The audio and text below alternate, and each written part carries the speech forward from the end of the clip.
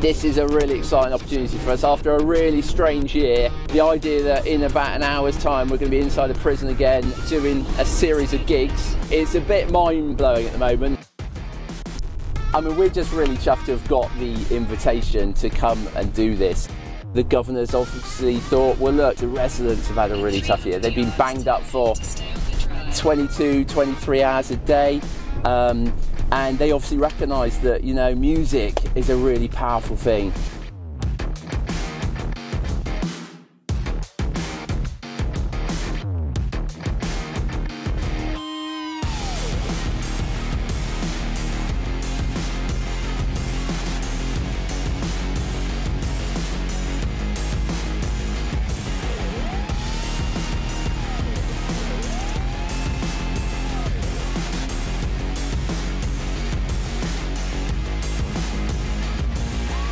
Well, the day is going really well. Uh, I'd say it's very wet. The thing I've enjoyed the least though is moving those subs around. yeah, they are Uh, pretty. they hefty. are pretty hefty and it's gotten a bit wet. Yeah. But it's definitely been worth it. I mean, I think we're, we're brightening up the day for them.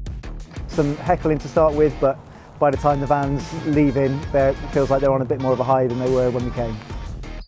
You can see it's gone down really, really well. There's been good spirit, there's been cheers, there's been a bit of banter. Today has just brought some fun and a new vibe to the atmosphere, so it's, it's brilliant and thank you for what your team have done today.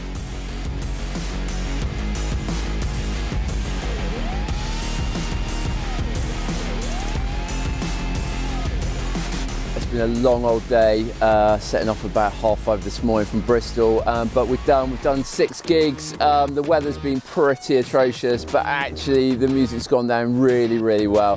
The staff have loved it, and actually the residents have really responded.